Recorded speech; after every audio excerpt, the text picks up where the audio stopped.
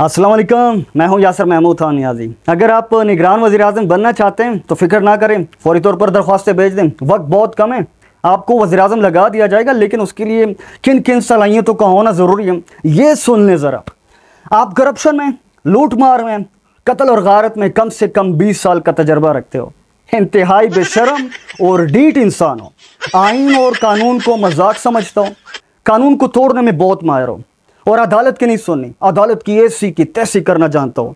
आवाम की खिदमत की बजाय, बस मुखालिफिन पर मुकदमे करना जानता हो। अपने और अपने ख़ानदान के सारे केसेस ख़त्म कर सकता हो।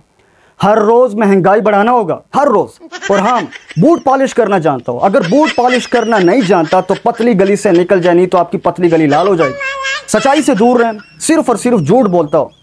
गुलामी गुलामी उसके खून में गर्दिश कर रही हो। अगर आपके ख़ानदान में भी कोई आज़ादी की बात करने वाला निकला तो माजरत के साथ हम कुछ नहीं करेंगे, लेकिन अमेरिका आपको नहीं बख्शेगा, वो आपको नहीं छोड़ेगा। क्योंकि पाकिस्तान में अमेरिका के बहुत ज़्यादा हिदमतगार हैं, जिसको हम मर्दानगी की ज़ुबान में गदार कहते हैं। अच्छा छोड़िए ये बातें। तालीम बेशक ज़ीरो अगर आप में ये सारी क्वालिटीज़ हैं, या इससे भी ज़्यादा मुनाफिक हो तो फ़िक्र करने की ज़रूरत ही नहीं है। मेहरबानी करके पहले आएँ और पहले पाए वजी अजम की कुर्सी, और बन जाए पाकिस्तान का कठपुतली वजी अजम